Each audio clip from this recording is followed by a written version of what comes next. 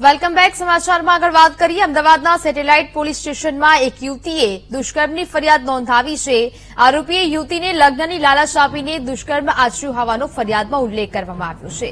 લગ્નની લાલચ આપીને પ્રેમજાળમાં ફસાવી આરોપીએ યુવતી સાથે દુષ્કર્મ આચર્યું. ફરિયાદને આધારે પોલીસે આરોપીની શોધખોળ શરૂ કરી છે. સંવાદદાતા અનિતા ફોનલાઈન પર જોડાયા છે. અનિતા, વધુ એક વિગત નોંધાઈ કે છે કે જેમાં લગ્નની લાલચ આપીને યુવતી પર દુષ્કર્મની ફરિયાદ પણ નોંધવામાં આવી છે. અનિતા. દર બે એક ઘટના અત્યારે સામે આવી છે. જેમાં દુષ્કર્મ આચરવાને લઈને ફરિયાદ દાખલ કરવામાં આવી છે.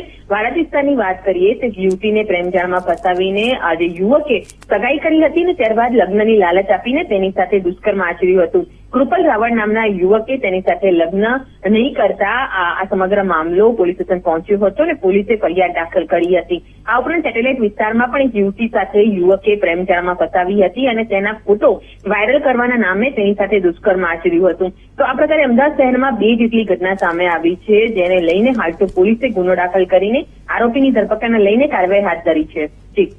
બિલકુલ અનિતા, જાણકારી બદલ આભાર.